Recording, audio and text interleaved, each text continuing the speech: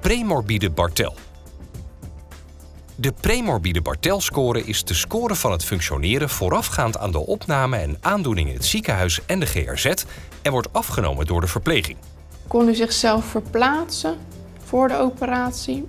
Door de afname van de premorbide Bartel wordt richting gegeven aan het niveau van functioneren dat wordt nagestreefd tijdens de opname bij de GRZ. Bekijk ook de instructiefilmpjes van de andere meetinstrumenten. Raadpleeg de website voor meer informatie of het downloaden van de handleidingen. www.unc-zh.nl